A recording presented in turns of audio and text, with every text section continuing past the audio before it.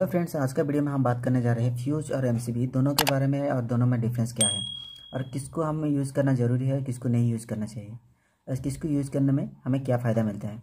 तो चलिए शुरू करते हैं। मेनली फ्यूज और एमसीबी दोनों को हम घर में और इंडस्ट्रियल में दोनों में यहाँ जगह पर आप यूज़ करते हैं। फ्यूज और एमसीबी आप दोनों को और ये दोनों का दोनों ही हमें शॉर्ट सर्किट प्रोटेक्शन और ओवरलोड प्रोटेक्शन दोनों का देते हैं। जैसे आप स्क्रीन पर देख पा रहे हैं, ये एम सी साइड में है, ठीक है?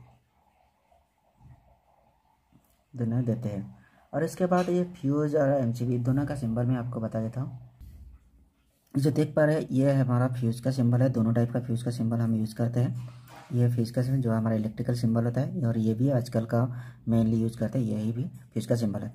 और ये हमारा एमसीबी का सिंबल है, ठीक है? एम सी का यह होगा सिंगल एम ये डबल फोल एम का है। एमसीबी के बारे में मैं आपको बता दिया है। और इसके बारे में अगर ज़्यादा जानना चाहते हैं, इसका सारे लिंक मैं डिस्क्रिप्शन में दे दिया आप देख लीजिए, ठीक है? तो चलिए दोनों में डिफरेंस क्या है बता देता हूँ। मेनली दोनों का दोनों हमारा शॉर्ट सर्किट और ओवरलोड प्रोटेक्शन दोनों के लिए देते हैं। ये हमारा मेन ओवरलोड और ये शॉर्ट सर्किट प्रोटेक्शन ये ओवरलोड के लिए और शॉर्ट सर्किट प्रोटेक्शन के लिए दोनों यूज़ करते हैं। लेकिन दोनों की कहाँ पर यूज़ करते हैं बात करते हैं। इसका कई पॉइंट्स में हम बताएँगे। पहला पॉइंट जो होता है, हमारा ओवरलोड प्रोटेक्शन और शॉर्ट सर्किट प्रोटेक्शन के लिए हम इसको यूज़ करते हैं। दूसरा पॉइंट यह है कि हमारा जो फ्यूज होता है फ्यूज को मेनली शॉर्ट सर्किट प्रोटेक्शन के लिए यूज़ करते हैं और जो एम होता है एम को हम मेनली ओवरलोड प्रोटेक्शन के लिए ज़्यादा कारगर होता है और जो हमारा फ्यूज होता है शॉर्ट सर्किट प्रोटेक्शन के लिए ज़्यादा कारगर होता है। लेकिन दोनों को हम, दोनों प्रोटेक्शन के लिए यूज़ करते हैं।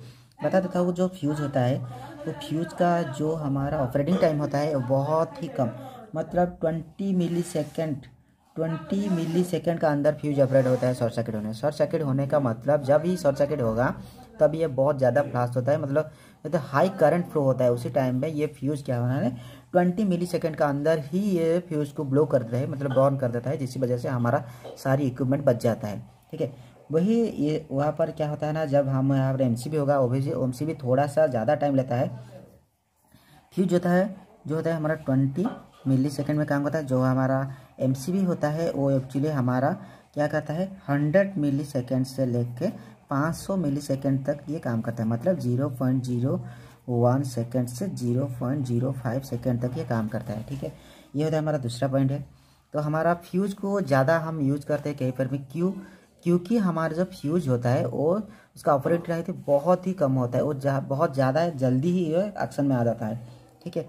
उसका दूसरा पॉइंट ये होता है कि दूसरा पॉइंट होता है, जो फ्यूज होता है, वो बहुत ही कम सस्ते में मिल जाता है, कम मतलब कॉस्ट में, लेकिन जो हमारा एमसीबी होता है, उसका रेंज मतलब फ्यूज से कम से कम दस से पंद्रह गुना ज़्यादा होता है इसका कॉस्ट फिर भी हम एमसीबी और फ्यूज दोनों को यूज़ करते हैं, और जहाँ पर हमें शॉर्ट सर्किट प्रोटेक्शन ज़्यादा चाहिए तो वहाँ पर वहाँ पर हम फ्यूज को ही यूज़ करते हैं, ठीक है? उसके बाद हमारा, जो हमारा फ्यूज होता है, वो फ्यूज को हम mainly one thousand one thousand amps तक यूज़ कर पाते हैं, लेकिन वही हमारा जो एमसीबी होता है एम सी हम ज़्यादा से ज़्यादा हंड्रेड आम्स तक यूज़ कर पाते हैं। उससे ज़्यादा होगा तो हम एम सी को यूज़ करते हैं। एम सी के बारे में पता नहीं तो उसका लिंक भी मैं दे देता आप देख लीजिए। ठीक है, ये हो गया हमारा दूसरा। और उसके बाद हमारा जो तीसरा होता है, जो हमारा फ्यूज होता है, वो फ्यूज को अगर कहाँ पर भी फ्यूज बोर्न हो जाता है मतलब जल जाता है, और कोई भी शॉर्ट सर्किट या ओवरलोड प्रोटेक्शन के वजह से फ्यूज ऑपरेट होता है तो फ्यूज को हम दोबारा यूज़ नहीं कर पाते, उसको रिप्लेसमेंट करना पड़ता है।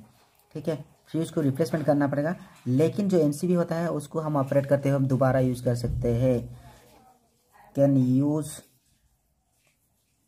नेक्स्ट इसको हम फिर भी यूज़ कर सकते हैं। लेकिन जो हमारा फ्यूज होता है फ्यूज को हम दोबारा यूज़ नहीं कर पाते हैं। लेकिन हमारा जो एम को हम दोबारा यूज़ करते हैं। इसका जो और एक पॉइंट होता है, चार होता है। जी, हमारा जो फ्यूज होता है वो फ्यूज को हम एज ए स्विच के हिसाब से यूज़ नहीं कर पाते।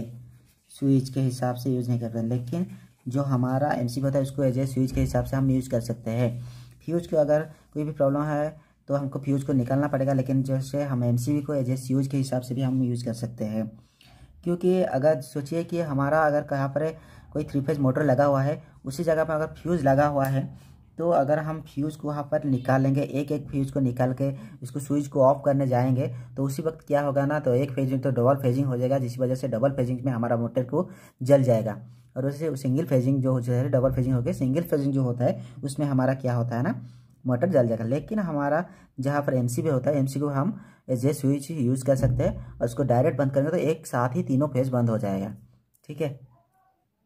इसके बाद हमारा अगला होता है जो हमारा नेक्स्ट पॉइंट होता है नेक्स्ट पॉइंट ये होता है कि जो हमारा फ्यूज होता है और फ्यूज़ को हम जब भी रिप्लेसमेंट करेंगे, अगर लाइव लाइन होगा तो वहाँ पर रिप्लेसमेंट करने हमारा सेफ्टी के रिगार्डिंग में वो बहुत खतरा हो सकता है। उस जगह में अगर फ्यूज़ को हम निकालेंगे, जब निकालेंगे तो फ्यूज बोर्न हो जाएगा तो कोई प्रॉब्लम नहीं जब हम फ्यूज लगाएँगे लाइव लाइन में, तभी यहाँ पर फ्लाश होने का चांस है। उसी वजह से हम बहुत सारे सेफ्टी इक्विपमेंट लाइक आपको रबर ग्लोव्स हम जो हाई केवी रेटिंग का रबर ग्लोव्स को यूज़ करके हम वहाँ पर रिप्लेसमेंट करना पड़ेगा। फ्यूज को जब ऑपरेटिंग करेंगे ऑपरेशन का टाइम में, अगर उसे रिप्लेस करेंगे। लेकिन उसी जगह एम का ये कोई इसका ज़रूरत ही नहीं पड़ेगा, क्योंकि हमारा जो एम है, वो एक्चुअली हमारा स्विचिंग जैसा काम करता है। अगर एक बार उसका सेफ्टी के लिए ट्रिप हो गया, किसी भी सेफ्टी के वजह से तो ये क्या ना, हम दोबारा इसको स्विच को सिर्फ़ नॉर्मली ऑन ही कर सकते हैं। इसके लिए हमें रिप्लेसमेंट का ज़रूरत नहीं पड़ेगा।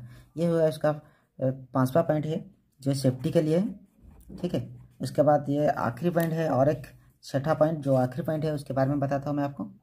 उसके बाद जो हमारा आखिरी पॉइंट होता है, ये होता है के रेटिंग जो के रेटिंग क्या होता है, आप स्क्रीन पर देख पा रहे हैं। यहाँ पर लिखा हुआ है वन थाउज़ेंड वन थाउज़ेंड देख पा रहे हैं एम के अंदर थ्री लिखा हुआ है ऐसे बॉक्स के अंदर। मतलब आप जो जो एमसीबी हम यूज़ करेंगे, वो एम क्या होगा ना, जब शॉर्ट सर्किट होगा, तभी तीन सेकंड का अंदर वन थाउज़ेंड एम्प्स का अगर वन थाउज़ेंड आम्प का करंट अगर फ्लो होगा तीन सेकंड में, तीन सेकंड में, तभी ये क्या करना वो फ्यूज वो एम एक्चुअली सॉरी फ्यूज नहीं एम सी उसको संभाल पाएगा, ठीक है? लेकिन जो ये रेटिंग होता है एमसीबी के लिए ही होता है, कहाँ पर टेन थ्री है, कहाँ पर फिफ्टी थाउज़ेंड तक है, ये दस हज़ार है, देख पा रहे हैं फिफ्टी थाउज़ेंड तक है और ट्वेंटी थाउज़ेंड है, लेकिन जो फ्यूज होता है फिफ्टी फ्यूज में ये कोई रेटिंग नहीं होता है रेटिंग नहीं होता है फ्यूज में फ्यूज बहुत हाई रेटिंग तक हम इसको यूज़ करते हैं, जो के जो कियर kilo amps rating K V नहीं, किलो एम्प्स रेटिंग जो बोलते हैं ना, किलो रेटिंग बहुत हाई होता है हमारा फ्यूज में, लेकिन एम में एक, उसका एक मतलब अप टू रहता है मतलब टेन थाउज़ेंड हो जाए फिफ्टी थाउज़ेंड हो जाए, कितना भी हो सकता है, ठीक है? ये था आज का फ्यूज और एम दोनों के बारे में जो डिफरेंस मैं आपको बता दिया। अगर वीडियो अच्छा लगा तो लाइक कीजिए शेयर कीजिए और सब्सक्राइब ज़रूर करिए, ताकि ऐसे ऐसे आगे बहुत और सारे वीडियो आपको मिल पाएगा, ठीक है? Thank you